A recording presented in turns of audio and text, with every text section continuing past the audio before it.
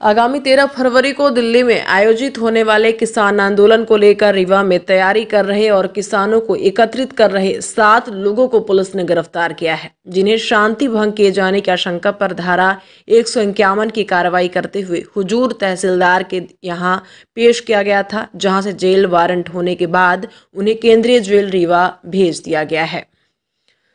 हम आपको बता दें, आगामी 12 और 13 तारीख को दिल्ली में अपनी मांगों को लेकर देश भर के किसान एकत्रित हो रहे हैं और यहाँ एक बड़ा आंदोलन किए जाने की तैयारी है। इसी को लेकर रीवा में भी आज किसान संगठन के लोग स्थानीय ऋतुराज पार्क में एकत्रित हुए थे, जहाँ किसान आंदोलन को लेकर तैयारी बैठक की थी और ज़िले भर के किसानों को जोड़ने का प्रयास किया जा रहा था। जैसे इसकी जानकारी जिला प्रशासन को हुई तो तत्काल मौके पर सिविल लाइन और चौराहटा पुलिस पहुँची और सभी किसानों को पुलिस कंट्रोल रूम रीवा लाया गया, जहाँ शांति भंग होने की आशंका पर सात किसानों के खिलाफ धारा एक सौ इक्यावन की कार्रवाई कार्रवाई करते हुए हुजूर तहसीलदार के न्यायालय में पेश किया गया, जहाँ से जेल वारंट बनने के बाद सातों किसानों को केंद्रीय जेल रीवा भेज दिया गया है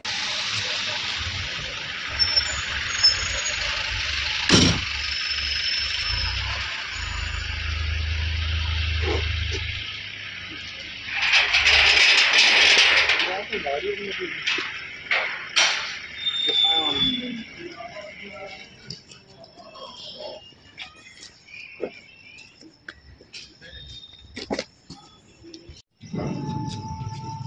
Thank